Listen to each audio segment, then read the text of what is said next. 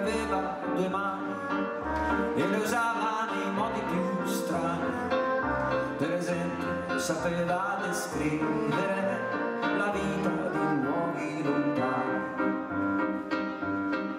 Era un uomo di forza sicura molto alto per la sua statura soprattutto al via ieri sera a Brindisi la prima edizione del festival Museac Musica Vista Mare organizzato dal comune di Brindisi grazie al sostegno della regione Puglia nell'ambito dell'accordo di cooperazione in essere tra il teatro pubblico pugliese e Aret Puglia Promozione. Sul palco dell'ex capannone Montecatini si è esibito Daniele Silvestri, oltre due ore di concerto attraverso il quale Silvestri ha ripercorso i tratti salienti della sua carriera. Questa sera è il turno di Max Gazzè e domenica Carmen Consoli.